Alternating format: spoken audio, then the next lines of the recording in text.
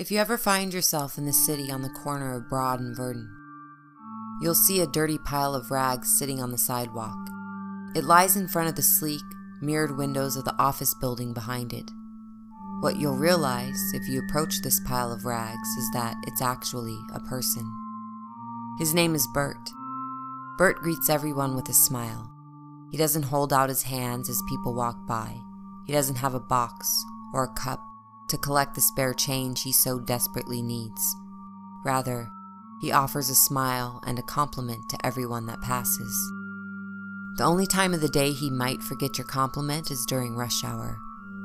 Once the clock strikes 3 p.m., fit men in suits and slender women in pencil skirts emerge from the sleek office building. Bert smiles and waves from his position on the ground.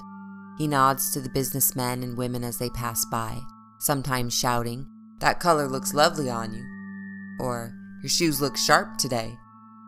The employees of the business office often ignore him, but sometimes he'll get thrown enough change to afford a Big Mac for dinner that night. Bert has been sitting at the corner of Broad and Vernon for 12 years now, but today is going to change everything for him. It's nearing 3 p.m., and Bert is in his spot, smoothing down his hair and arranging the blue and black plaid flannel shirt he's wearing. He rubs the crust from his eyes and stands, resting against the concrete wall behind him. He waits for the first few employees to trickle out onto the sidewalk. That's a nice shade of lipstick you're wearing there, miss. Sir, your tie is one of my favorite colors. After some time, the sidewalk becomes congested with workers darting this way and that, sticking out their arms to catch taxis, waiting for buses, and talking loudly into their cell phones. In the commotion, Bert simply waves and smiles at passers-by. As if from a cloud of people, a thick, rectangular envelope drops onto the blanket Bert is standing on. He picks it up and shouts, Hey, you dropped something. But no one turns around. Bert pockets the envelope and decides to hold on to it in case someone comes back to claim it. Throughout the rest of the day, Bert keeps a sharp eye out for anyone that might have lost the envelope, but no one comes to claim it. As night falls, Bert's curiosity grows and he decides to open the envelope. Inside is a large stack of money, all $5 bills. Bert counted out $75. Tears of gratitude made lines through the grime on his face. As he flipped through each bill, a note flitted out and down to the ground from the stack. Upon picking it up, Bert read, Bert, there's more where this comes from. Come to 1241 Greenhouse Road, and I'll meet you there. The homeless man had finally been given a chance to change his life after 12 years. He found it odd that no time or date was listed, but was excited nonetheless to have been given this opportunity. Had it not been dusk, he would have found his way to the address sooner, but he decided to wait until morning to make his trip. The next day, Bert packed up everything he owned into a grubby backpack. He washed up in the gas station bathroom, bought a suit and shoes at the thrift store, and made his way to the greenhouse road. Having lived in the city for so long, he made it there in 10 minutes. The address led him to an empty office space. Assuming his guests meant to meet him inside, he tried the door. It swung open and he stepped inside. Welcome, a voice said as Bert entered. Uh, hello? He called into the empty space. There was no furniture in the office, only a small desk with a desktop computer monitor on top. It was in the center of the room and the screen lit up as Bert approached it. Welcome, Bert Matthews, the same voice said. At the same time, letters appeared on the computer screen spelling out what was spoken. Please do not attempt to leave. The door is monitored by an automated turret designed to shoot on command. The voice was almost chipper, as if it was an advanced automated system with an actual personality. Bert looked out of the glass office door, up at a brick wall on the other side of the street. Sure enough, there was a small mounted machine gun that looked to be the size of a security camera. What is happening here? I was sent a note, said Bert, growing increasingly frustrated. Yes, we have created a special opportunity for you, Bert, and we thank you for accepting, the computer said. stating his name as if it was a selected option from a menu. I haven't agreed to anything. By spending the money we initially granted you, our contract was set and you accepted our terms and conditions. We thank you greatly and look forward to working with you. Without responding, Bert bolted for the door and ran out into the alleyway. Before he could go any further, a gunshot rang out. In front of Bert, carved into the pavement by his feet, was a large bullet hole about the size of a half dollar.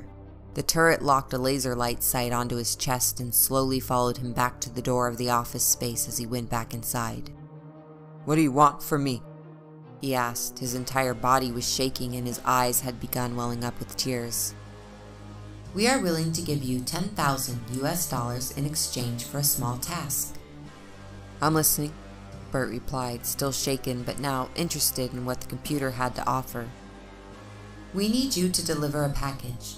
It will be on the sidewalk where you normally sit. Deliver the package to the CEO of Telecorp, the office building behind your sidewalk.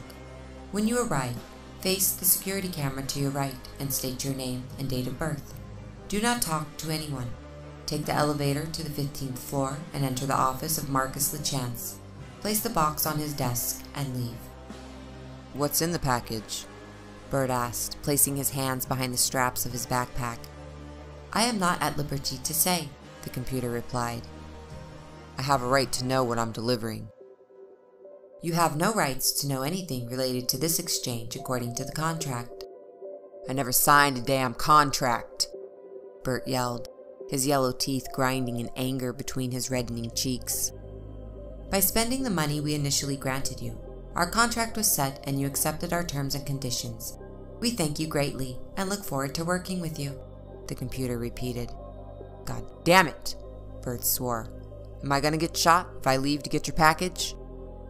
You have 20 seconds to recover the package and leave the area. Thank you for your time. Goodbye. The haggard man turned quickly and exited the building. He nearly tripped on a 12 by 12 box set in front of the door. He tucked it under his arm and ran out of the alley just as a red dot had appeared on his chest. While Bert had lived on this corner for the past 12 years, he'd never been inside the office building. He didn't know what it was for, and until today, he hadn't even been aware of what the company was called.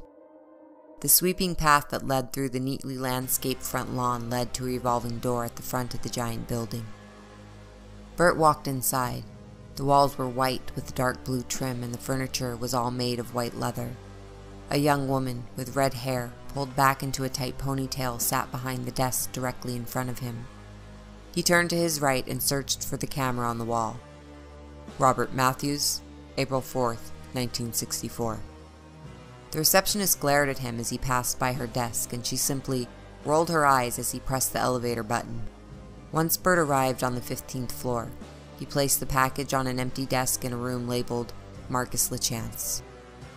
Unsure of what to do next, Bert left and headed back to collect his reward. The clock was nearing 3 p.m., and Bert relished in the fact that he would no longer have to wait for this time of day to arrive. A broad smile covered his face as he passed the receptionist on his way out. Within seconds of his departure through the revolving door, he heard screaming behind him.